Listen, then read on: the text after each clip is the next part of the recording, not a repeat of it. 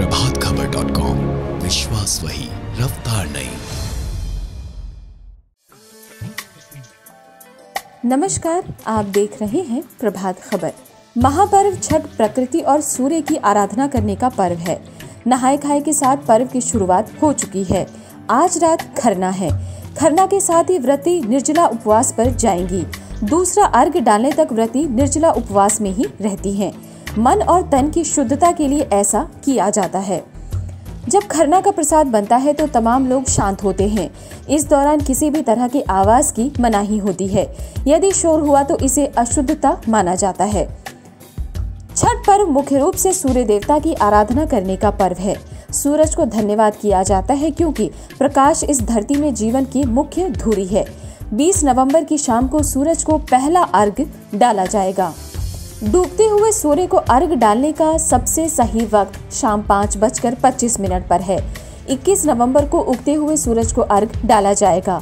उगते हुए सूरज को अर्घ डालने का सबसे सही वक्त सुबह छह बजकर पच्चीस मिनट पर है। यही अर्घ डालने का सबसे शुभ मुहूर्त है।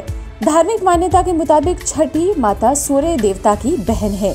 कहा जाता है कि सूर्य की उपासना करने से छठी मैया खुश होती हैं और सुख शांति के साथ साथ संपन्नता प्रदान करती है।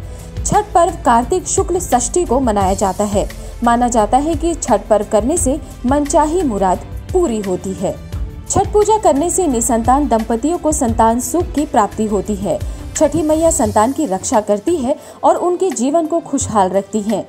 छठ पूजा करने से सैकड़ों यज्ञों के फल की प्राप्ति होती है। परिवार में सुख, समृद्धि की प्राप्ति के लिए भी छठी मैया का व्रत किया जाता है। छठी मैया की पूजा से भी सभी मनोकामनाएँ पूर्ण होती है। छठ पर्व के दौरान फलों का भी विशेष महत्व है।